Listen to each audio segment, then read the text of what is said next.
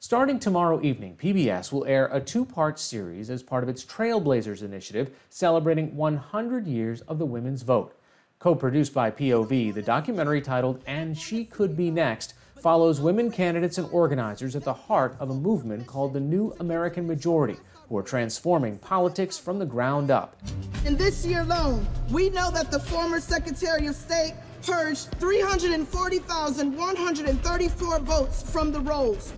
These numbers aren't, again, just data. These are actual lives. People. These are real people who want their voices to be heard. Grace Lee and Marjan Safinia are producer and director of the series. I recently spoke with them about the documentary. Marjan, let me start with you. What were you setting out to do? And uh, perhaps, Grace, the second part of that question, what was the story by the time you actually looked at all the footage? So, Marjan? Uh, you know, we're in this really interesting moment in this country where there's this sort of rapid demographic shift that's sort of changing a lot of the par- paradigms and norms and sort of power dynamics in this country.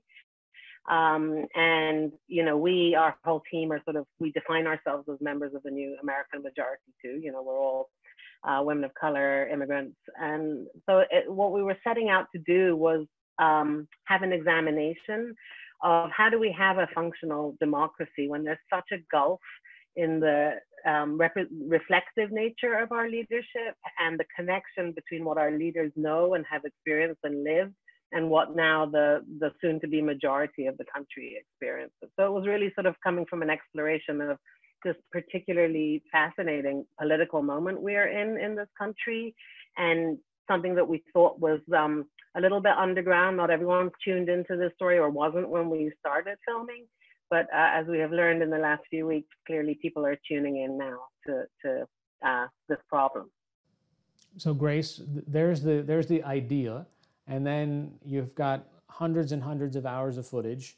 What are the stories that you started to see emerge that you knew would connect with an audience? I think when we first started out, we were really looking at women of color who were running for office, but very quickly it became apparent that leaders come in all different shapes and sizes, and the organizers um, sort of lifting up the movements that allow women who are, you know, the, the characters that we follow. Um, the organizers are really um, kind of the the hidden figures behind the scenes, right, making things happen. Um, so we really wanted to look at this movement. We didn't really want to make a campaign film or something, you know, just focused on an election, which you know becomes old news very quickly. But looking at this movement that brings together candidates and organizers who are working to you know sort of redefine what democracy looks like how can we actually have a government and you know, that reflects who actually lives here you know the movements are are the key places that are doing that. And we see that playing out right now in the middle of the pandemic, in the middle of all this unrest. And and and you know, as you saw episode two, the voter suppression, you know, the, the people on the ground are the ones that are, you know, calling it all out. Uh, Marjan, how did you decide to go after the specific people that you went? I mean, you've got candidates from El Paso to Michigan to California to Georgia we wanted to pick women not just because they were women of color, but because each of them, you know, uh, centers in their dialogue uh, both their race and their gender and the issues that they're fighting for, which are the ones that keep me up at night, whether that's Islamophobia or guns or healthcare or immigration and the border. Um, so we wanted to sort of uh, find a, a collection of women who we felt could kind of represent this larger moment and this movement. Um, and uh, we picked pretty well because, uh, with the exception of you know Stacey Abrams, and we understand what happened in that race, they all won. So um, I think we had pretty good pickers. So Grace, I want to uh, come back to something that you mentioned when you were filming the long lines in Georgia two years ago. Did you think that we would see that again? Um, yes.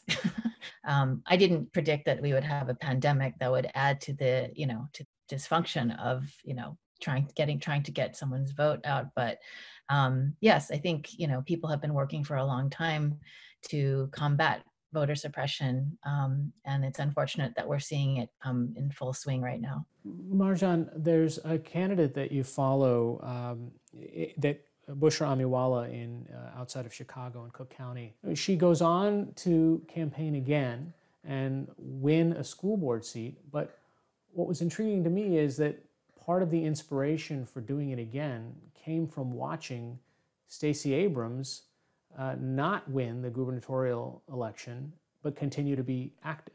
We have to dust ourselves up off and pick ourselves up and and try again. Part of the reason that her story is so inspiring to include is because um, these fights are big, right? And they're not going to be won overnight. But if if we persist and if we find community, if we find a tribe of people who are with us, eventually, you know, I think folks will prevail. Grace, there's uh, also several scenes in the film where you kind of see just a, a human side of these women that are running for a political office. And once they become representatives or senators or whatever they are, we have a tendency to either lump them in with their party or a particular position that they might have had or some sort of political debate. But uh, there was a scene with uh, Lucy McBath, uh, who's a representative from Georgia, and she was thrust into this partly because of, or mostly because of the, the tragic loss of her son to gun violence. And you catch up with her uh, on Mother's Day, and she's going to visit her son, and it's just kind of a heartbreaking scene. Um, and, and, as kind of a storyteller, I was trying to figure out well, how, how did either your videographer or yourselves, what was the decision making process to include that? Well, you know, first I should mention that, you know, it wasn't just Marge and I making this film, we're the co directors, but we had a really amazing array of field directors. Um, and Yoruba Richen, um, accomplished doc filmmaker, um, was with was with Lucy in that scene when she goes to the cemetery to visit her son Jordan's grave. Um, I think that's just part of what we do as documentary filmmakers. You know, we're really trying to build the relationship with um, the people that we are documenting. It's not just you know headline news that we're trying to you know explore an issue. We really want to understand what makes them tick, what are the lived experiences that you know make them unique as people going into politics. So I think, you know, the women that we chose and who we follow are all understand, you know, the importance of their story and how you know, it it matters to see stories like this. It matters to see people, like Lucy says, you don't see people who look like us in the halls of power and government. Who are you both um, most surprised by, Marjan? Let me start with you. Actually, the thing that was most kind of revelatory for me was seeing the work of the organizers, seeing folks who are undocumented in this country, who live with all the fears that come uh, alongside that and the sort of um, structural obstacles to uh, becoming American when they've lived here practically their whole lives. To see how hard they were fighting for this democratic kind of privilege of having the vote. Uh, they're not voting, but they're doing everything they can to uh, participate in this democratic process because it's all they can do. They don't have the luxury of that vote. So for me, that was one of the most kind of moving moments was recognizing how those of us who can vote in this country can be a bit lackluster about it. And then conversely, seeing people who don't have that right, but whose lives are directly affected by the outcomes of these elections, leaving everything on the line just to try to sort of fight for as many people as possible to be able to participate. That kind of took my breath away. We didn't start out to make a film about organizers, but it quickly became clear that these are the you know the, the backbone of all social movements women of color have always been the backbone of social movements in this country um, and in georgia i mean as an asian american finding the organizers in georgia was also really exciting because um, you know we tend to have asian americans as one of the uh, people in the film says are you know not necessarily known for you know being politically active. And to find people young people who are doing it in language you know going out and and you know gathering elders to help them go vote in a place like georgia where laws are are um, established to you know that are often preventing people to go out and vote because of exact match laws or whatever was really exciting and you know heartening for me to see as well going into 2020, and I don't know if you're still in touch with all of these different characters, but um, are they as uh, engaged, as excited, as committed uh, as they were in 2018? Uh, Marjan, let me start with you. Yeah, I mean, I would say more so, right? More so because they the fight continues. We're very much in touch with the uh, the organizers. They're all very much still organizing. Um, and you know, this this in the Georgia primary, despite the outrage of suppression that was documented, the voter turnout was even higher than it had been in 2018. So, uh, you know, I'm not an expert on the details of, of what's happening in Georgia today, but I've become a bit of an expert on this movement of the new American majority. And in the end, it, it is a nationwide movement, right? The, the uprisings that we've seen in the streets are the new American majority. It's just a very diverse uh, group of Americans who just have a very different vision for what this country should be. And now there's enough numbers that there's a real sort of um, opportunity to claim power. Grace?